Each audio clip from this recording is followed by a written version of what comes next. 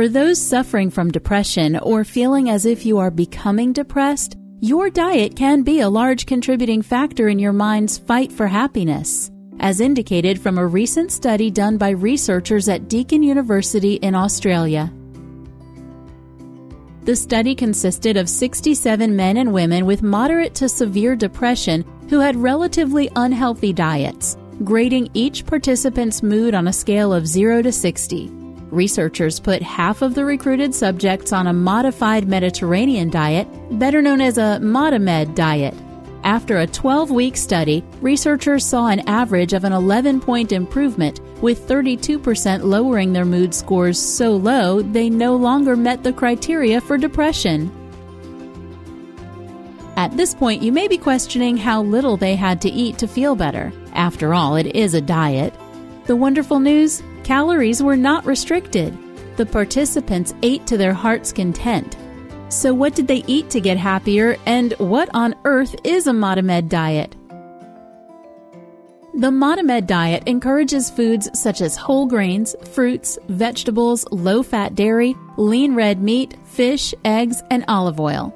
Subjects had a maximum two sugar sweetened beverage per week and maximum two alcoholic drinks per day.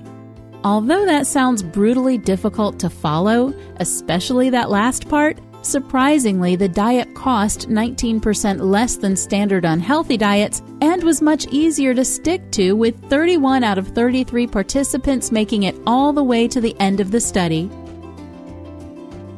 What is so special about the Modimed diet? It incorporates more healthy ingredients such as olive oil and nuts while removing harmful and unhealthy foods such as processed meats and refined carbohydrates. The diet is specific enough to limit sweets and processed foods while being broad enough to encompass all food groups. The incorporation of little processed oils that are high in essential omega fatty acids also aids in improving mood, especially because omega fatty acids cannot be produced by our bodies. The only source is food. It may be difficult to believe that a simple diet change can completely alter your mood and improve your depression. But is it really that far off? Considering the many processed and GM foods and refined sugars in nearly all products we as individuals consume on a daily basis, it should come as no surprise how our diets have altered our nutrition intake for our brains.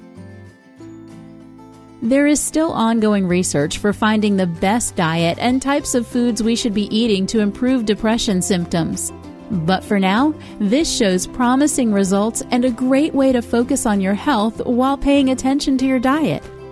If you enjoyed this video, please hit that like button. We try to bring you information as often as we can, so if you liked this video, please subscribe.